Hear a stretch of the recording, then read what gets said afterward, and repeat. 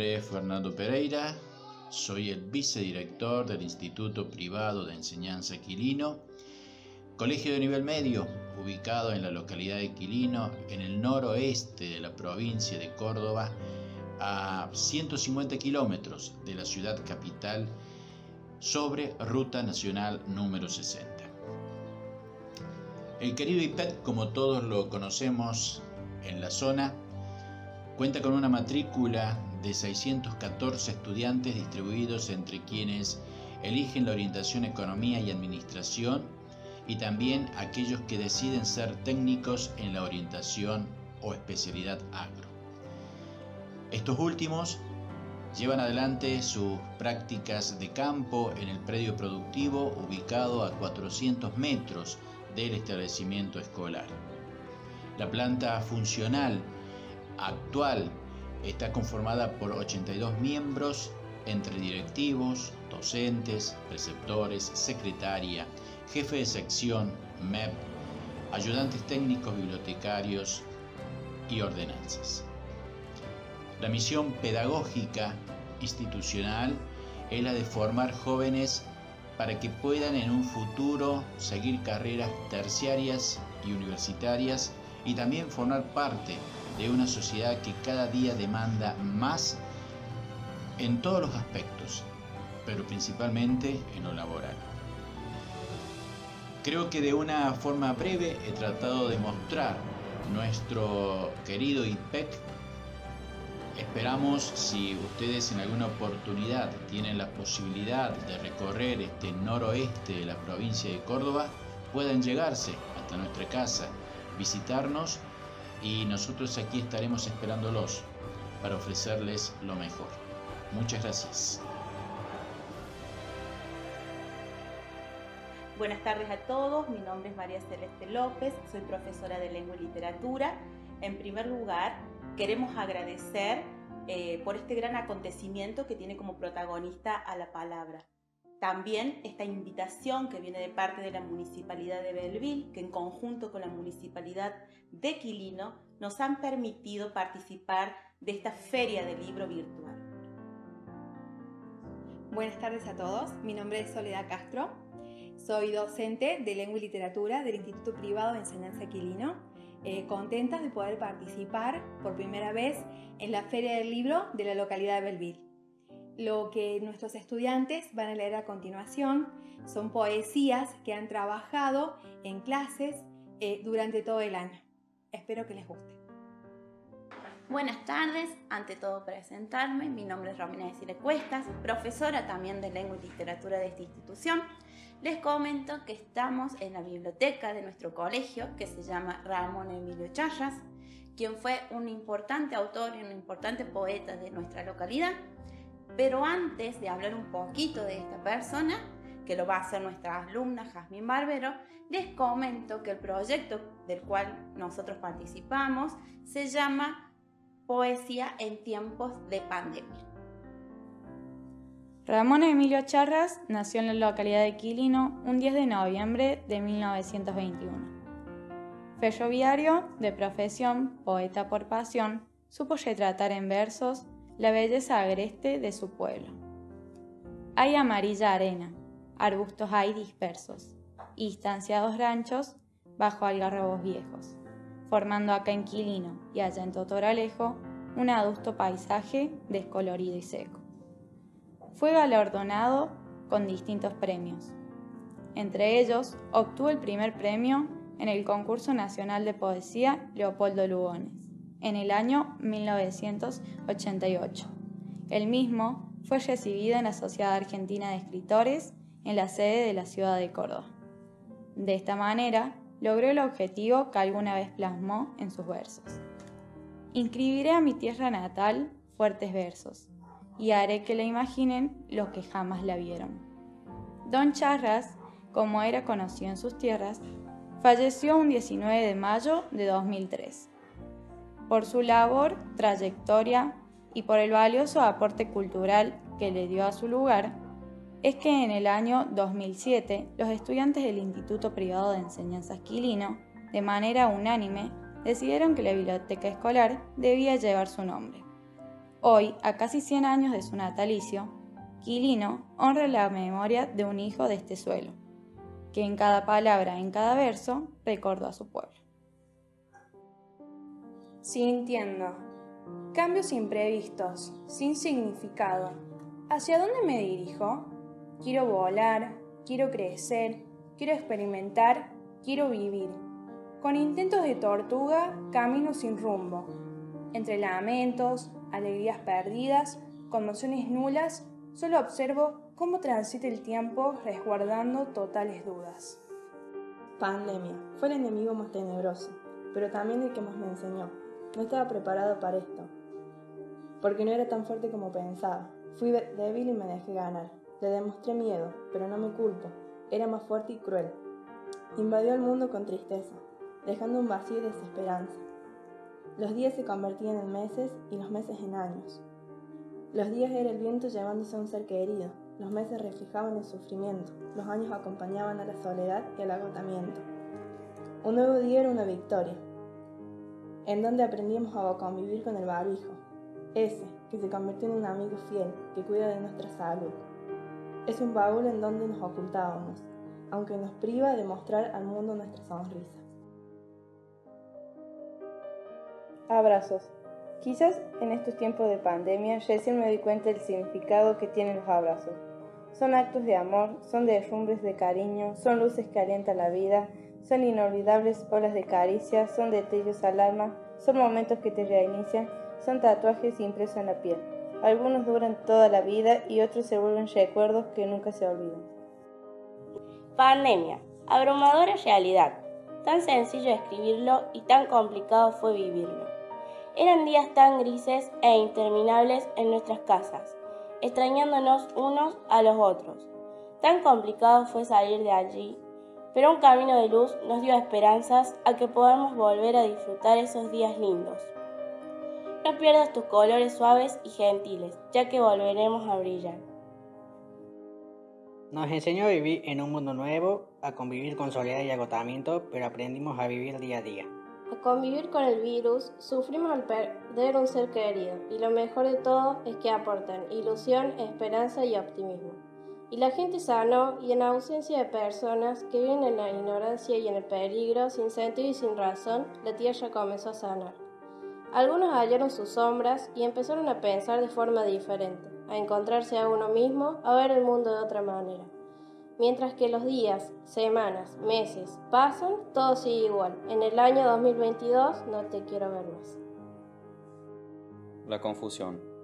Muchas veces yo solo no entiendo el por qué me siento perdido.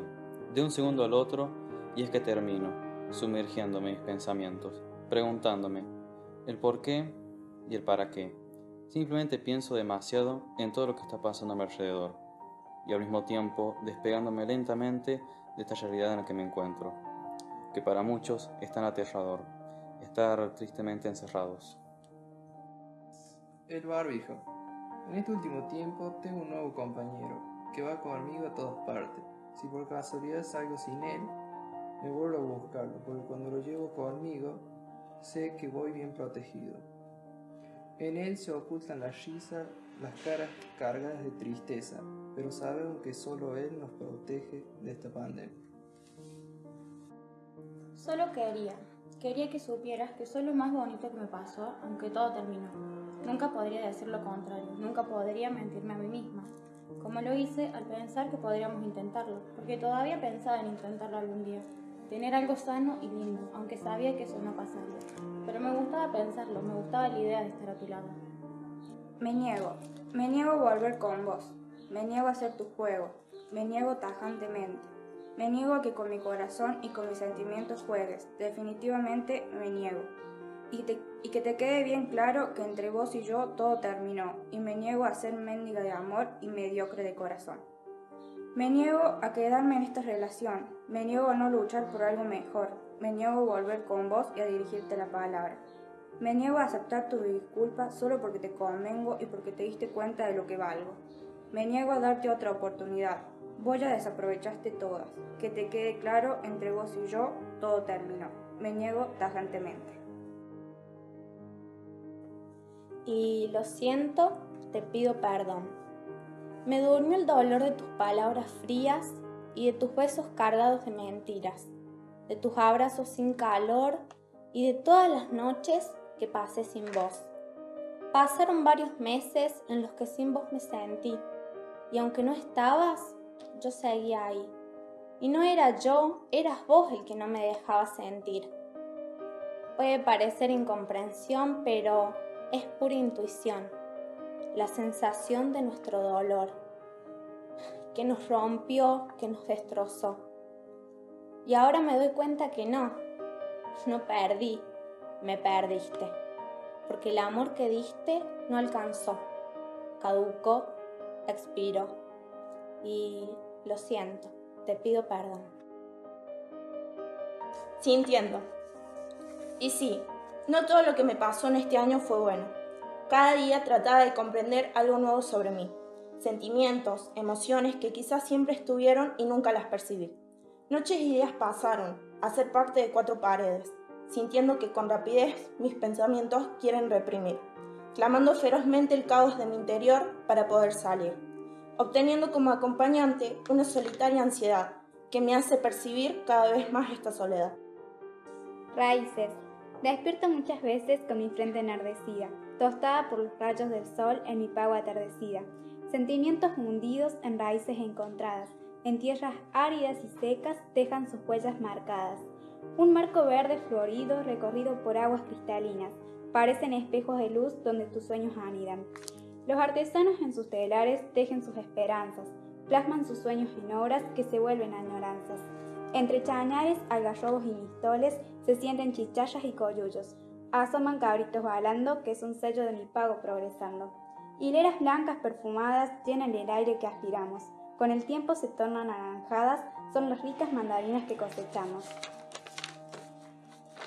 Debes probar el exquisito cabrito acompañado de pan casero. Quedarás hechizado con el sabor y volverás y traerás a tus compañeros. Quesillos de cabra bañado con arrope es el postre ofrecido, para endulzar las amarguras y, no olvidar lo vivido. Quilino, Quilino siguen aspirando. Levantemos las copas, con sus nuevos vinos brindamos. Y un día todo cambió. Cambiaron las alegrías y las compañías por la desolación y la soledad. Cambiaron los besos y los abrazos por llamadas y videoconferencias. Cambiaron las salidas por encierros eternos Cambiaron las esperanzas por los temores. Todo cambió, pero el amor no. El amor continuaba vivaz. Fue el sentimiento que nos permitió seguir aguantando. Algunos se llevaron el amor con ellos mismos. Se fueron sin poder demostrarlo por última vez. Se fueron con miedo a lo desconocido. Se fueron con la esperanza de volver a sus hogares. Se fueron pensando en las miles de cosas que les quedaba por hacer. Se fueron con la incógnita de que si ya habían vivido todo. Se fueron solos, sin compañía, sin nadie que les diera un último beso, abrazo o que los tomara de las manos. La pandemia nos alejó, como el sol y la tierra, nos alejó, como América y Europa. Pero un día todo va a cambiar. Van a desaparecer las profundas y dolorosas distancias y van a volver las uniones. Van a desaparecer los miedos y van a volver los sueños.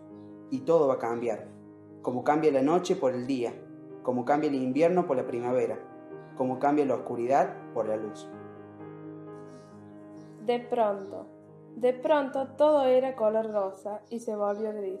De pronto todo era divertido y se volvió triste.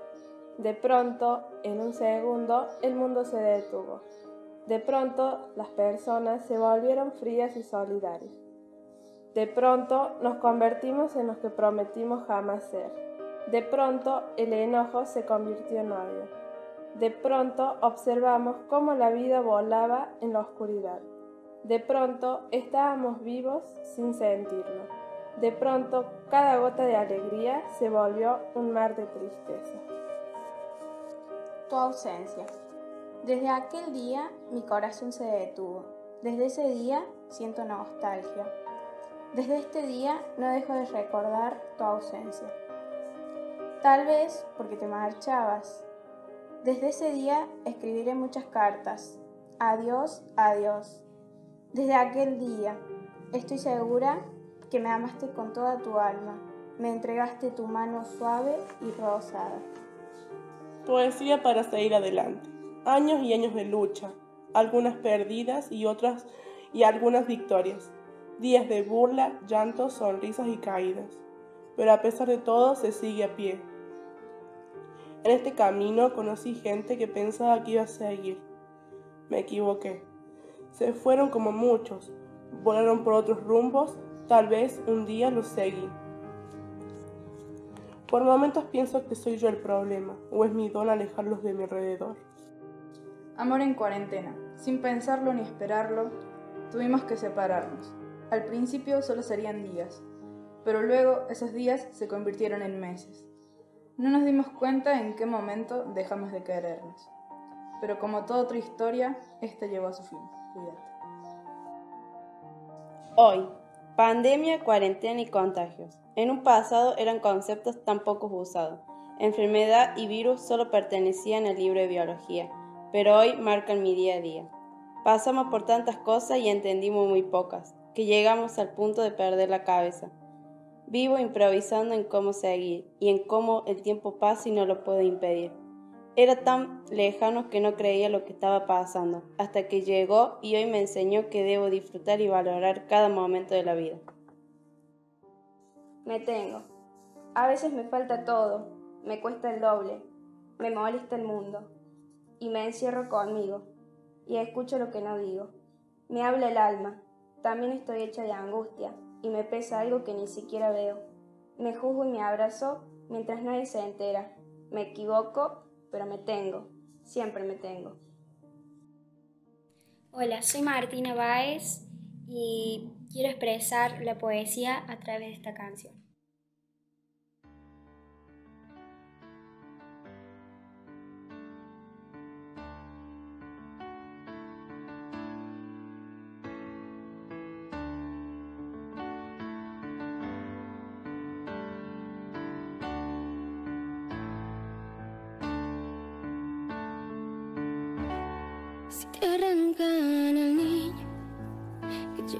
Por dentro, si te quitan la teta y te cambian de cuenta, no te tragues la pena porque no estamos muertos, llegaremos a tiempo,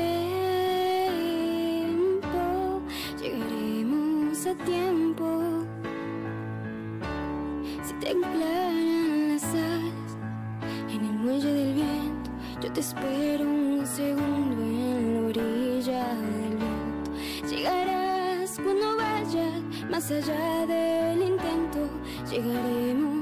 tiempo. Llegaremos a tiempo. Si te abrazan las paredes, desabroche el corazón. No permitas que te anuden la imaginación. No te quedes aguardando a que pinte la ocasión, que la vida son dos trazos, un borrón. Tengo miedo que se rompa la esperanza, se quede sin alas. Tengo miedo que haya un día sin mañana. Tengo miedo de que el miedo te eche un pulso y pueda más. No te rindas, no te sientes esperar.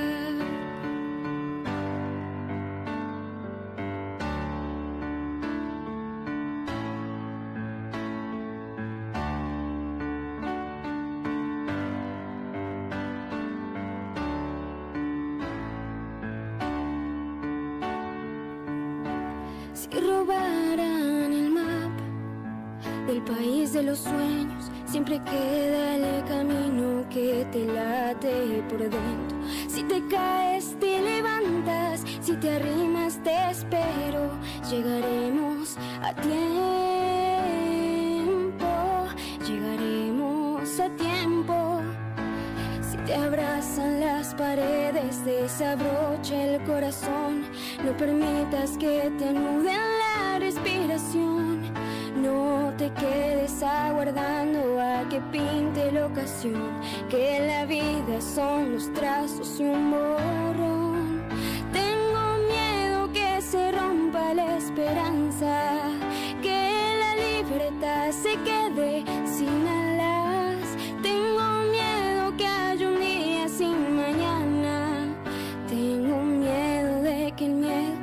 hecho un pulso y pueda más. No te rindas, no te sientas a esperar.